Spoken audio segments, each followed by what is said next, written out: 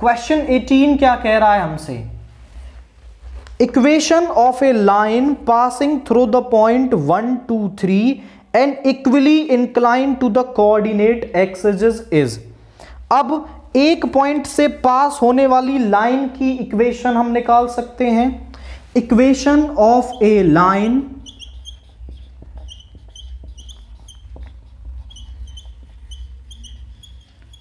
passing through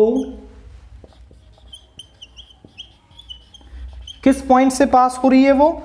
One two three and let say have D Rs उसके direction ratios हमने मान लिए. सम A B C जो है, उसके डायरेक्शन रेशोज हैं. अब आप समझें कि वो वन टू थ्री सी तो पास हो रही है और ए बी सी उसके डायरेक्शन रेशोज हैं. तो उस लाइन की इक्वेशन होगी x minus one by a y minus two by b and z minus three by c अगर मुझे ये ए बी सी मिल जाए तो मैं उस लाइन की इक्वेशन यहाँ पर लिख सकता हूँ। तो उसके लिए उसने एक कंडीशन दे रखी है कि जो लाइन है हमारी, वो सभी एक्सजिज के साथ इक्वली इंक्लाइंड है। मतलब वो एक्स एक्सिज के साथ भी अल्फ़ा एंगल बनाएगी वाई एक्सिज के साथ भी बीटा और जेड एक्सिज के साथ गामा तो ये जो अल्फ़ा बीटा और गामा है, ये तीनों इक्वल होंगे. इक्वली इंक्लाइंड होने का मतलब तो यही है कि तीनों एंगल्स जो हैं वो इक्वल होंगे. और हम एक रिलेशन जानते हैं कि cos square alpha plus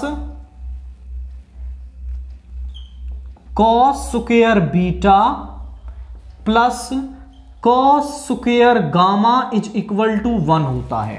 अब क्योंकि अल्फ़ा बीटा की जगह मैं अल्फ़ा ही लिख सकता हूँ तो यहाँ पे हो जाएगा cos square alpha plus cos square alpha plus cos square alpha is equal to one.